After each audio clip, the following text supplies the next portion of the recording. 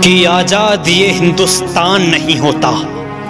अगर किसी माँ का बेटा इस वतन के खातिर कुर्बान नहीं होता, सारे रिश्ते नाते भुलाकर सीने पर गोली खानी पड़ती है मेरे दोस्त। वतन के खातिर मरना इतना आसान नहीं होता।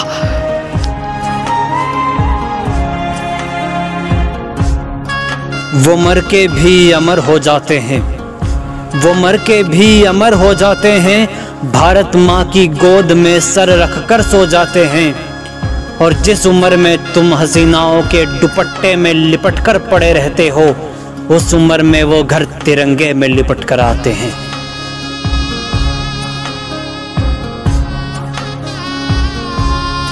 कुछ तो खास है इस मिट्टी में, एक अलग ही एहसास है इस मिट्टी में। यूँ ही हँसते हुए मौत के मुँह में नहीं जाते। यूँ ही हँसते हुए मौत के मुँह में नहीं जाते। देशभक्ति की प्यास है इस मिट्टी में।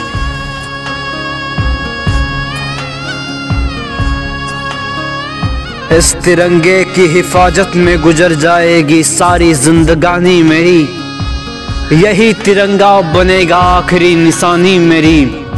और इसी से शुरुआत है। इसी में लिपट कर खत्म होगी कहानी मेरी।